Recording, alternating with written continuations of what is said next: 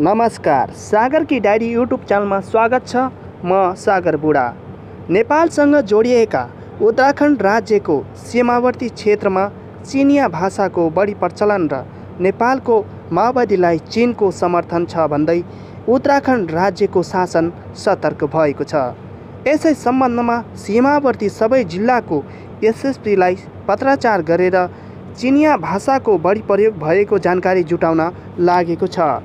नेपालले चार मार्च अठार सय सोह्रमा ब्रिटिससँग सुगौली सन्धि गरेको थियो र उक्त सन्धिमा नेपालको एक तिहाईभन्दा पनि बढी भूभाग गुमेको थियो र त्यसै सम्बन्धमा नेपाली जनताले बिस्तारै आवाज उठाउँदै गर्दा उक्त कार्यलाई र नेपालका सपुतलाई माओवादीको क्रियाकलाप र माओवादीको परिभाषा दिँदै र चिनको सपोर्ट आर्थिक र व्यापारिक धेरै मिलेको भन्दै सीमा क्षेत्रमा भारतीय जिल्ला उधमसिंह नगर पिथौरागढ र चम्पावत जिल्लाका एसएसपीलाई प्रशासनले पत्राचार गरेर जानकारी मागेको छ।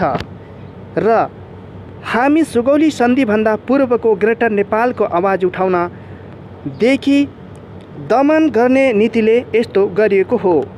उन्नाइस सय पचासको शान्ति र मैत्री सन्धिको धारा आठ र भारतीय संविधानको भाग दुईले पनि सुगौली सन्धि पूर्णत खारिज गर्दछ तर पनि भारतले यस्तो पालना गर्दैन।